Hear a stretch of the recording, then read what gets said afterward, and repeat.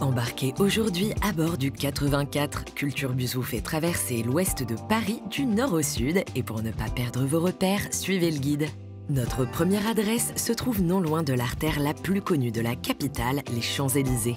Descendez à Ruisdel Parc Monceau pour une immersion artistique au cœur du musée Jacques Marandré.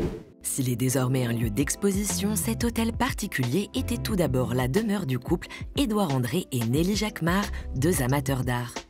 Durant la fin du 19e siècle, ils constituent ensemble leur collection que l'on retrouve aujourd'hui présentée. Passionnés de voyage, ils rapportent du mobilier ancien, des tableaux et des sculptures monumentales.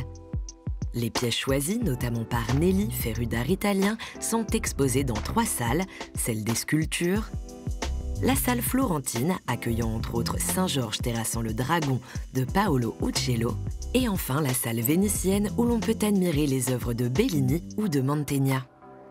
Quant aux salons et appartements privés, ils nous donnent un aperçu du goût des propriétaires plutôt flamboyants.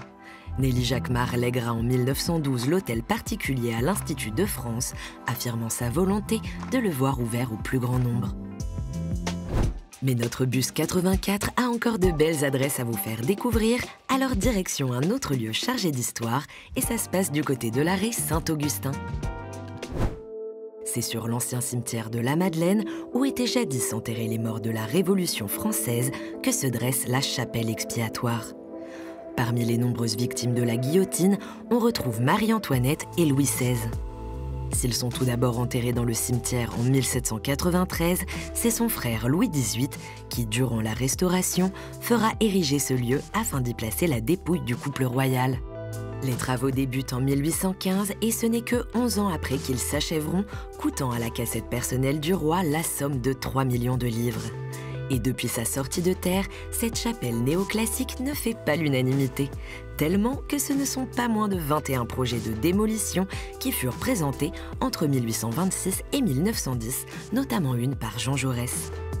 Et pour rester dans le style 19e siècle, rendons-nous sur le lieu de notre dernière découverte du jour, descendez dans le 7e arrondissement à rue du Bac René Char.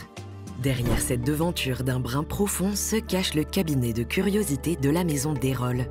Taxidermiste et passionné d'entomologie, l'étude des insectes, c'est en 1831 que Jean-Baptiste Desrolles fonde ce lieu quelque peu atypique. Plus tard, sous la direction de son petit-fils Émile, on y voit fleurir le commerce des planches murales à vocation éducative que vous avez sûrement dû voir sur les bancs de l'école.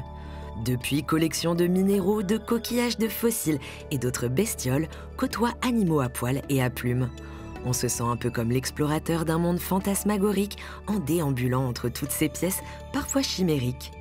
Alors, amateur de sciences naturelles ou collectionneur, vous savez où vous rendre. C'est entouré de ces drôles de compagnons que notre excursion s'achève. Terminus, tout le monde descend.